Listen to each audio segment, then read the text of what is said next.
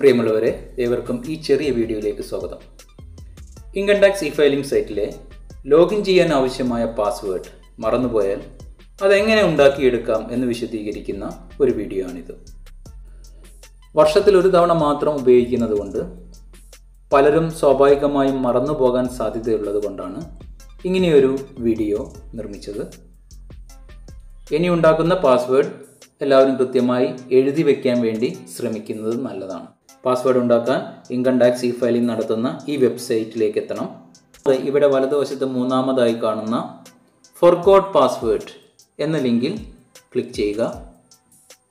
അപ്പോൾ നിങ്ങൾ ഈ ഒരു വിൻഡോയിലെത്തും ഇവിടെ യൂസർ ഐ ഡി എന്നതുകൊണ്ട് ഉദ്ദേശിച്ചത് നിങ്ങളുടെ പാൻ നമ്പറാണ് കൃത്യമായി എന്റർ ചെയ്ത് നൽകുക.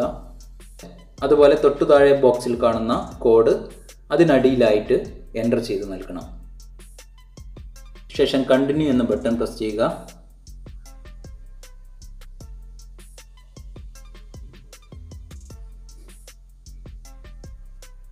പിന്നീട് നിങ്ങൾ എത്തുന്നത് ഈ ഒരു വിൻഡോയിലാണ് ഇവിടെ പ്ലീസ് സെലക്ട് ചെയ്യാൻ ഓപ്ഷൻ എന്ന് കാണാം. ആ ഡ്രോപ്പ് ഡൗൺ മെനുവിൽ ക്ലിക്ക് ചെയ്താൽ ഈ നാല് ഓപ്ഷനിൽ നിങ്ങൾക്ക് എളുപ്പമുള്ള ഏതെങ്കിലും ഒരു ഓപ്ഷൻ നിങ്ങൾ സെലക്ട് ചെയ്യണം. ഓരോന്നായി വിശദീകരിക്കാം. ആൻസർ സീക്രട്ട് ക്വസ്റ്റ്യൻ ഇതുകൊണ്ട് ഉദ്ദേശിച്ചത് നിങ്ങൾ അക്കൗണ്ട് ക്രിയേറ്റ് ചെയ്യുമ്പോൾ ഒരു സീക്രട്ട് ക്വസ്റ്റ്യനും അതിന്റെ ആൻസറും കൊടുത്തിരുന്നു. അത് നിങ്ങൾക്ക് കൃത്യമായിട്ട് ഓർമ്മയുണ്ടെങ്കിൽ ആ സീക്രട്ട് ക്വസ്റ്റ്യനും ആൻസറും നൽകി കഴിഞ്ഞാൽ അതിലൂടെ വരുന്ന ഒ ടി പി ഉപയോഗിച്ച് നിങ്ങൾക്ക് പാസ്വേഡ് റീസെറ്റ് ചെയ്യാവുന്നതാണ്.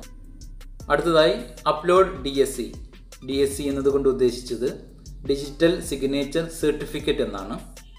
ഇത്തരത്തിലുള്ള സൗകര്യമുള്ളവർക്ക് ഈ ഒരു ഓപ്ഷൻ സെലക്ട് ചെയ്യാവുന്നതാണ്. മൂന്നാമതായി using e filing O T P ഇത് നല്ലൊരു ഓപ്ഷനാണ്. നിങ്ങൾ ഇ ഫയലിംഗ് അക്കൗണ്ട് ഉണ്ടാക്കുന്ന സമയത്ത് കൊടുത്ത ഇമെയിലിലേക്കും അതേപോലെ മൊബൈൽ നമ്പറിലേക്കും ഓരോ ഒ ടി പി വരും. ആ ഒ ടി പി ഉപയോഗിച്ച് നിങ്ങൾക്ക് പാസ്വേഡ് റീസെറ്റ് ചെയ്യാവുന്നതാണ്. അടുത്തതായി using Aadhaar O T P നിങ്ങളുടെ ആധാറിൽ ലിങ്ക് ചെയ്ത മൊബൈലിലേക്ക് വരുന്ന ഒ ടി പി ഉപയോഗിച്ച് നിങ്ങൾക്ക് പാസ്വേഡ് റീസെറ്റ് ചെയ്യാവുന്നതാണ്. ഞാനിവിടെ നാലാമത് പറഞ്ഞ using Aadhaar O T P എന്ന ഓപ്ഷൻ സെലക്ട് ചെയ്യുന്നു. കണ്ടിന്യൂ എന്ന ബട്ടൺ പ്രസ് ചെയ്യുക.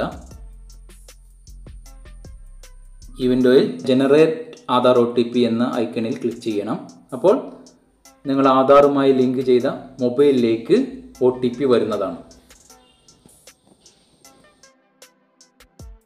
നിങ്ങൾക്ക് കാണാൻ സാധിക്കും എന്റെ മൊബൈലിലേക്ക് ഒരു ആറക്ക ഒ ടി പി വന്നിട്ടുണ്ട്.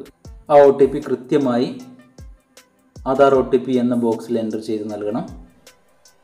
അതുപോലെ അതിന്റെ തൊട്ട് താഴെയായി enter password enter new password confirm password എന്ന ബോക്സുകളിൽ നിങ്ങൾ കൃത്യമായി എഴുതി വെച്ച പാസ്വേഡുകൾ ഒരേപോലെ എന്റർ ചെയ്ത് നൽകണം. ഇനി പാസ്വേഡിന് ഉണ്ടായിരിക്കേണ്ട പ്രത്യേകതകൾ ഓരോന്നായിട്ട് പറയാം. മിനിമം എയ്റ്റ് ക്യാരക്ടേഴ്സ് വേണം. ഒരു അപ്പർ കേസ് വേണം ഒരു ലോവർ കേസ് വേണം കൂടാതെ ഒരു നമ്പർ വേണം ഒരു സ്പെഷ്യൽ ക്യാരക്ടർ വേണം ഒരു ആൽഫബറ്റ് വേണം. ഉദാഹരണമായി income at one two three ഇതിൽ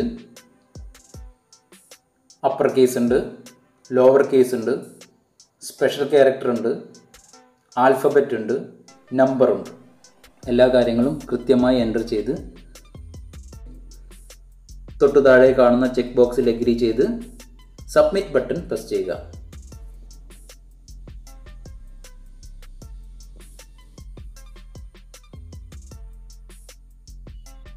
ഇപ്പോൾ നിങ്ങളുടെ പുതിയ പാസ്വേഡ് ക്രിയേറ്റ് ചെയ്യപ്പെട്ടു കഴിഞ്ഞു.